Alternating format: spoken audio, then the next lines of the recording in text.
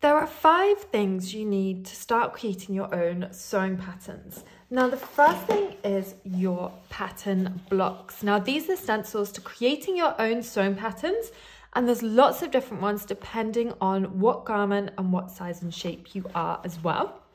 The next thing you want is a mechanical or propelling pencil, and this means you can really accurately draw around your pattern blocks onto your pattern paper so that they're super accurate because your lead won't blunt. And obviously you've got a rubber to rub out any bits you don't need as well. So then we need pattern cutting paper.